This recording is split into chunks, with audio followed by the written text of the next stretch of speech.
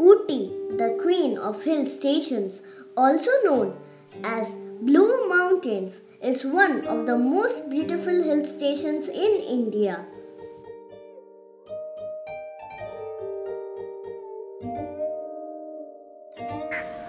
We are going to see a waterfall.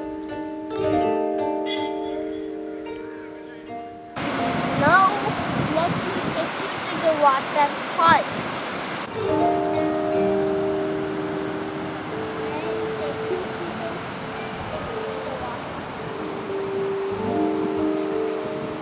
This hill station has splendid green downs and lofty hills of extraordinary scenic beauty and is endowed with a salubrious climate similar to the English summer.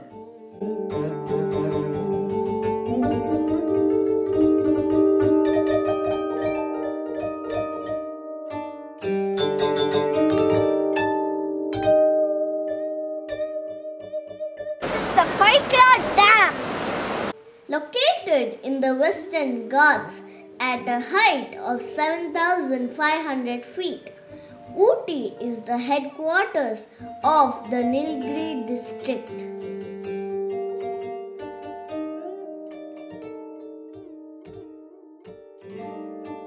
Ooty has become more of a honeymooner's paradise and a de facto filming location. Apart from coffee and tea plantations, trees like conifers, pine, and wattle dot the hillside of Ooty and its environs. While visiting, you will also come across many eucalyptus trenches. The fresh smell of eucalyptus trees in a trendy and clement breeze will make you psychedelic for sure. The funnel shaped blossoms covering the hills in flora profusion and the lavender blue flowers spread over the mountains will pack you with memories for a lifetime. Ooty has many places to see the idyllic valley views, tranquil forest ranges, beautiful flora and fauna with bustling music of the wildlife.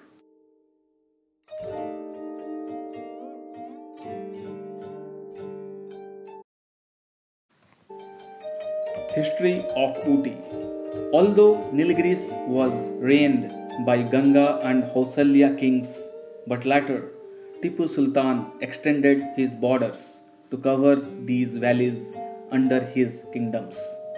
Ooty was a pricey possession of Tipu Sultan, which got transferred to the East India Company in 1799 under the Treaty of Srirangapatnam. John Sullivan, the collector of Coimbatore district in 1819, visited this enchanting hill station.